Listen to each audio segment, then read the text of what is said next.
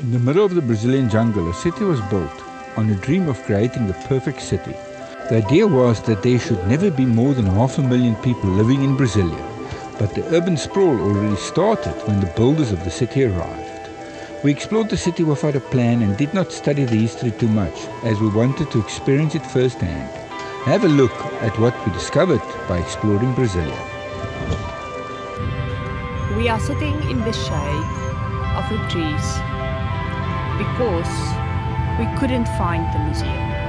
This is just another sign and probably proof that I am not made for museums. We are in Brasilia. There's beautiful buildings here and we've been walking around. We've been looking at maps. We've been on Google Maps and nowhere to be found is the museum. But we've been to two museums already. One. Okay, one and a half. So it's really beautiful, but, but we kind of think that the museum is underground, which is already a problem if you want to see it or find it. And we think it is that that square building over there. No, not that one. That one. Okay. Oh, I think small it's that small one, and I think you must go down. But we are actually very tired just from trying to find the museum. So we are going to a market. a market. It's easier to find. nuts. Yes. yeah. Because we, we, we nutty for a museum, so we'd Yes. rather go and buy nuts. Museums drives me nuts. Yeah. The buildings in Brasilia are very striking and makes you think of science fiction from the 70s. On first glance, you're not sure what you are looking at and what is the purpose of the buildings. Big parts of the buildings are underground and white concrete is the predominant building material. The city was designed with the idea to keep the buildings low and to, to allow for a lot of green spaces all around. It's very hot in Brasilia, so the white color helps to keep things cool.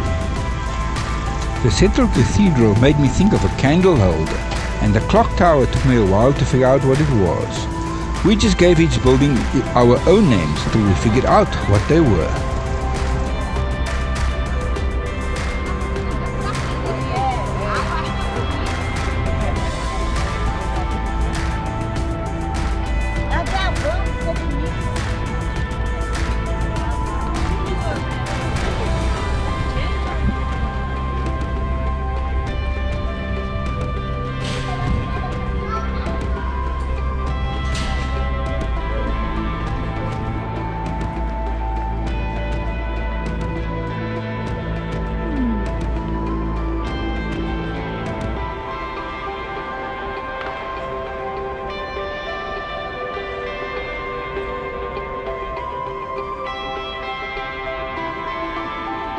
Driving through the center city or Plano Piloto, pilot plan in English, we kept wondering what were they thinking when they built this building?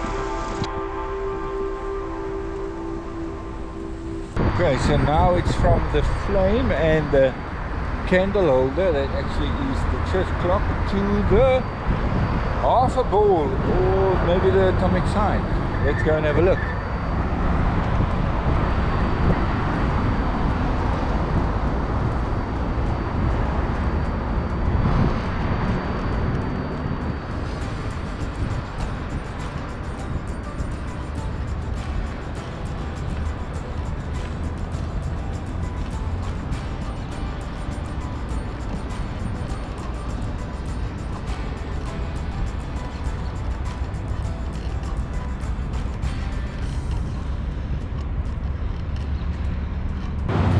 A little bit hot.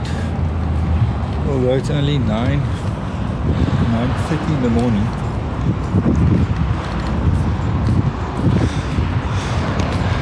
So what do you think of the ball, Lenny? I think it looks like. Can you remember that old TV program we watched? Rhythm, Rhythm International. International. Oh, it looks like their base maybe. Yeah. We found that a lot of buildings were closed. For example, this museum. Although the hours were on display, we went knocking, but there was nobody home. As you've made it this far in the video, you must be liking it, so please hit that like button. Subscribe to our channel and hit the bell icon so you can get notified of all our future adventures.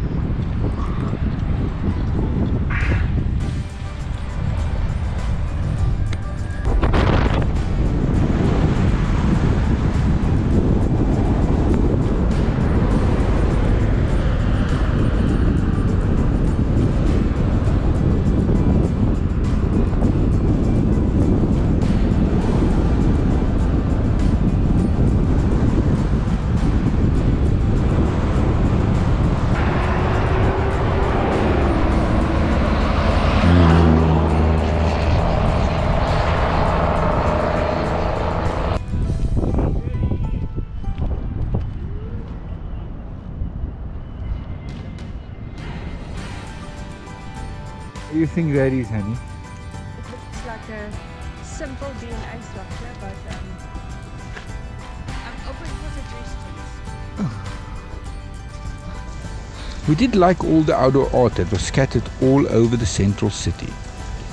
What was strange in the design of the city is that it only catered for cars. No thoughts were put into pedestrians, cyclists or wheelchair users. The pavements are extremely high and the bike paths that exist are new additions and are very patchy.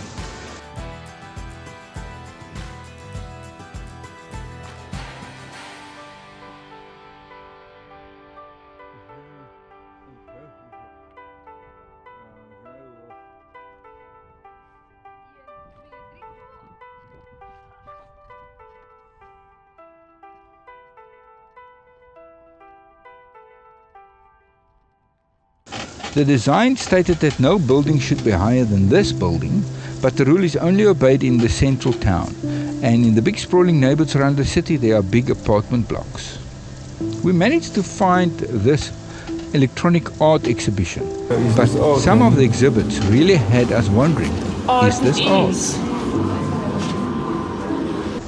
All the different government departments are arranged in one big avenue in buildings that look like apartment buildings, with the idea that everybody works together in one big building and then drive home in the evenings.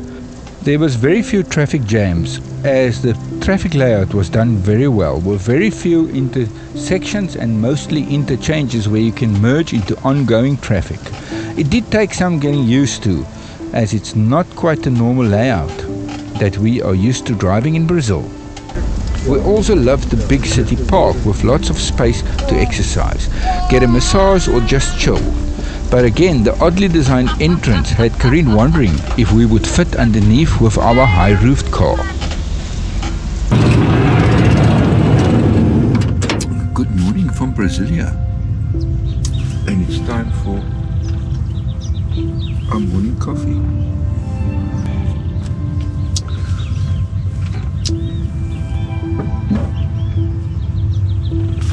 Beautiful quiet morning in Brasilia. Can't believe I'm in the middle of a city. Found a brilliant little campsite. Quite a few people, other people camp while camping here. Very peaceful. Karine is still in a standard morning position did make the coffee this morning. Yeah, I'm going to quickly see um, what the city looks like from above.